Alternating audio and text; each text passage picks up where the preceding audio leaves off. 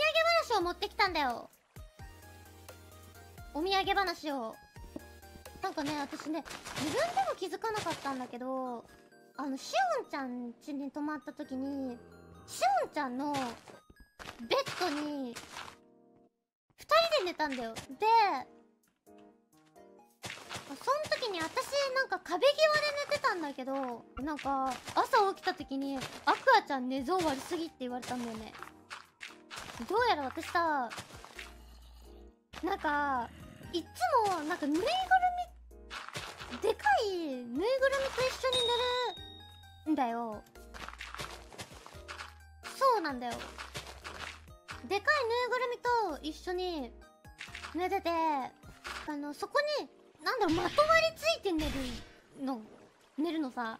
どうやら私あのしおんちゃんにしおんちゃんの家にはねそんなものないからさしおんちゃんにまとわりついて寝てたらしい。でしおんちゃんが起きるときに大変だったみたいな。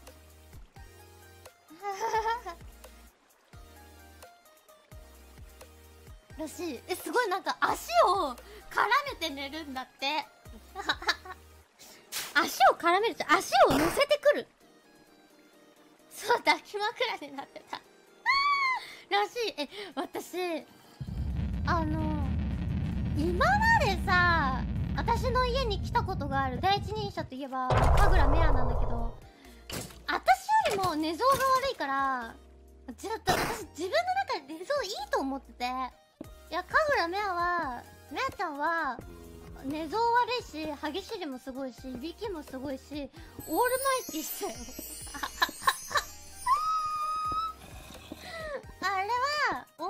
ルマイティだから。いや本当に。あれはもうひどい。し布団も取るし。オールマイテ私自分のこと寝相いいと思ってたんだけど。なんかね寝相悪いって言われたわ。